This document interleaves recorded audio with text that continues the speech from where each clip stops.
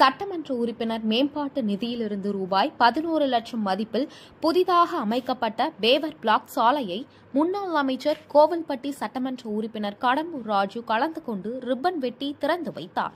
தூத்துக்குடி மாவட்டம் கோவில்பட்டி அருகே இலுப்பையூரணி பஞ்சாயத்துக்கு உட்பட்ட தங்கப்பன் நகரில் சட்டமன்ற உறுப்பினர் மேம்பாட்டு நிதியிலிருந்து ரூபாய் பதினோரு லட்சம் மதிப்பில் புதிதாக அமைக்கப்பட்ட பேவர் பிளாக் சாலையை பொதுமக்களுக்கு பயன்பாட்டுக்கு முன்னாள் செய்தி மற்றும் விளம்பரத்துறை அமைச்சர் கோவில்பட்டி சட்டமன்ற உறுப்பினர் கடம்பூர் ராஜு கலந்து கொண்டு ரிப்பன் வெட்டி திறந்து வைத்து பொதுமக்களுக்கு இனிப்புகள் வழங்கினார். நிகழ்ச்சியில் முன்னாள் சட்டமன்ற உறுப்பினர்கள் ஒன்றிய செயலாளர்கள் நகரமன்ற உறுப்பினர்கள் மற்றும் அதிமுக நிர்வாகிகள் பலர் கலந்து கொண்டனர். வாங்க